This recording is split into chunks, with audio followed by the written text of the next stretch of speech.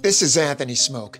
Have you noticed as a data professional, there's been a shift from requesters coming to meetings with detailed requirements to vague, agile asks? When I first started working as a data analyst on a business intelligence team, requesters would come to meetings with forms filled out so that we would have enough detail to get started on their ask.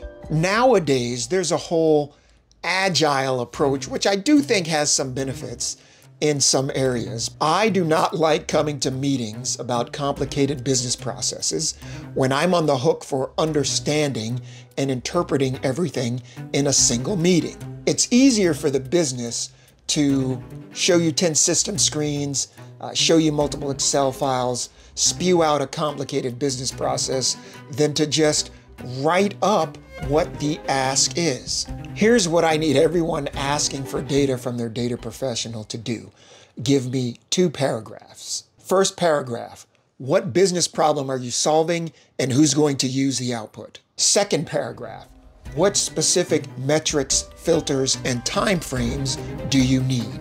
Then I need you to sketch or create a rough mock-up of what you need the output to look like all of this upfront work, and it's minimal upfront work, eliminates the that's not what I meant conversations. They allow your analyst to estimate times accurately and surface any gaps that might arise before any coding takes place. Write first, build second, meet once.